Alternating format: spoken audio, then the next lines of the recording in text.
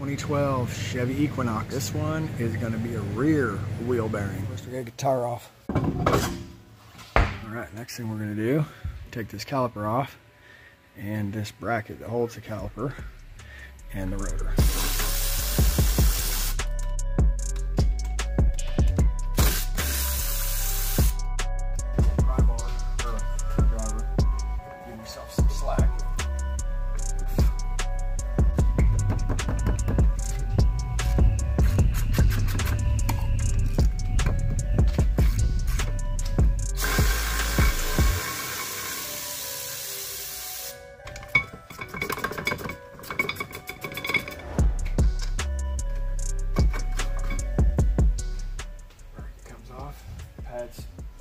Sometimes All right, to get this rotor off, we got a Torx. No, let's see, 30.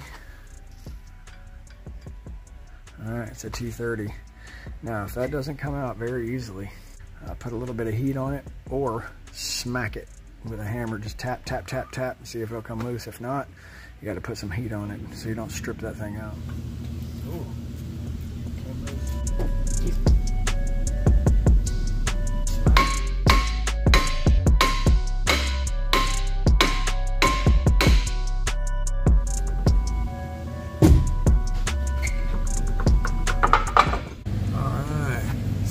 Backside, one, two, three, those four bolts, and that wheel bearing will come out.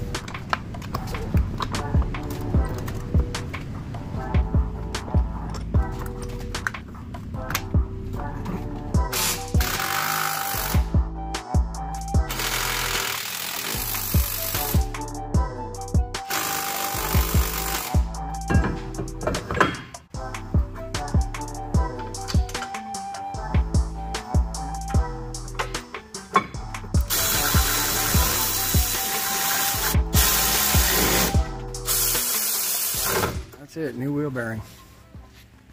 Equinox. So now you just got to put tire back on. Wheel bearings, they're pretty much the same. Ford, GM, lots of cars have this hub assembly bolt on from the back. Thanks for watching everybody. See you on the next one.